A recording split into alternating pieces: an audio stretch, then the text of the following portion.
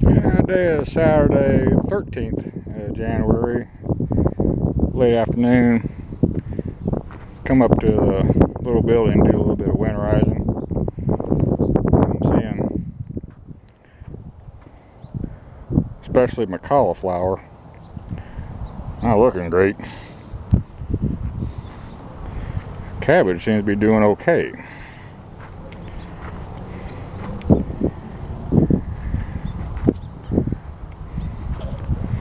Wife and I going to come back tomorrow and do our harvesting. And uh, driving up here, quite a few folks put uh, sheets and plastic on their azaleas. And some of them planted non-cold tolerant ornamentals. They did the same thing with those sheets and plastic, tried to save them, I guess. Yeah. Problem I got is I can't find two weather forecasts that match. They're all over the damn place. Uh, some are saying tomorrow morning is supposed to be 21. Some are saying 29. Some are saying Monday morning is supposed to be 7 some are saying 18.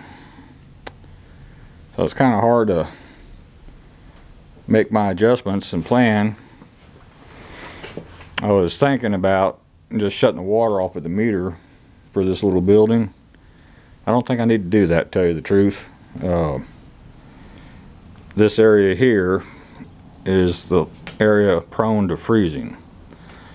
On my ground level water faucet outside, I'm using a double bucket method to protect it. And uh, that way it'll absorb the heat from the slab and should keep anything above the slab from freezing. I've got the little styrofoam thing on the water spigot on this exterior wall. And what I'm going to do is using this little we call it a milk house heater um, just simply set it on 1300 watt medium speed down here at the very bottom. It's got a little sub-freezing icon over there on the left hand side which is the lowest setting medium work. And about right there get this thing plugged in.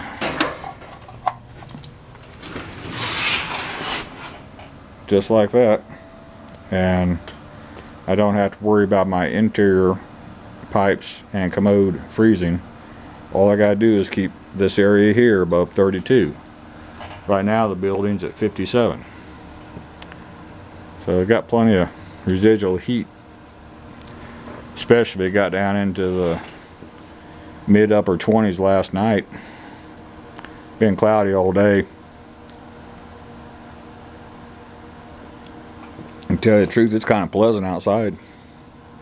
I think my truck said it's 58 and wind laid down a little bit, which means it's going to get real cold tonight.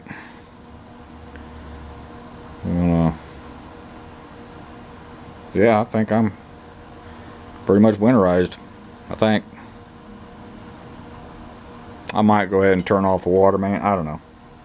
I'll look at it. If it, again, now they're saying Monday snow could be heavy. Uh, before is a real low chance of snow. Now, little icon on the weather report showing snow and freezing rain. Which is the worst thing that can happen. Freezing rain here, power goes down. And uh, grocery stores and Walmart are just crazy stupid busy. Had people panic buying. I had to get diesel in my truck yesterday on the onboard tank. My bed tank's got 100 gallons of diesel in it. I know exactly where 20 gallon is on my fuel gauge inside the cab of the truck.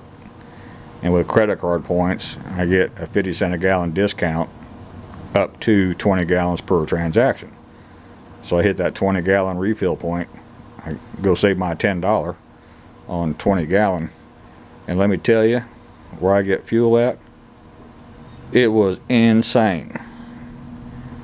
Uh, people filling up five gallon gas cans, people filling up their cars. It was just, it was insane. No courtesy at all. But that's what people do. So, oh, I got my uh, windshield polishing compound in too. That's what that is. So that's good. So, oh, I found my disc calendar. I was wondering where I put that thing. So anyway, let me uh, double check things and have to pick up Jura. She's at a little job at the mall. I was supposed to work on Monday too. I said, honey, if we got a lot of snow on the road and ice, uh, you ain't going. I can get her up there on four wheel drive, but the problem is it's the mall. And if there's snow and ice on the roads, ain't nobody gonna go to the damn mall. And that'd be a waste of money and time for her employer to even open up his little business. It's just stupid. But that's just me. Uh, anyway, that's all for this one. Thank you.